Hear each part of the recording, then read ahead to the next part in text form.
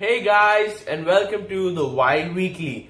Today we are going to meet two of the behemoths of the insect kingdom. The rhinoceros beetle and the titan beetle. Let's get started.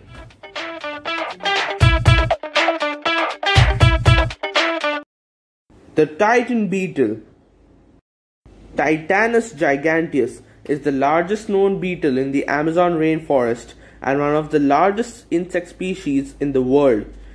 It typically lives in the rainforests of Colombia, Ecuador, Peru, Bolivia, the Guianas, and north central Brazil. Adult titan beetles can grow up to 6.5 inches in length. They defend themselves against predators by using their sharp spines and strong jaws. Their mandibles are known to snap pencils in half and cut human flesh. Now it's turn for the rhinoceros beetle.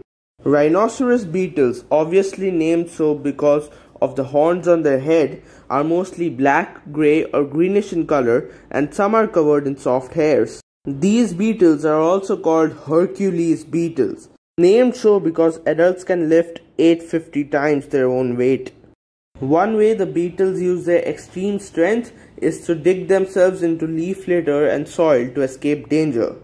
They can grow up to 6 inches, 15 centimeters, making them one of the largest beetle species. Did you know the rhinoceros beetle has two times more protein than chicken and beef? So if you're looking to be a bodybuilder, you know what to do. And did you know a titan beetle larva has never been seen but thought to be 2 inches wide and a foot long? Thanks for watching guys and let me know in the comment who would win in a fight, the largest or the strongest beetle.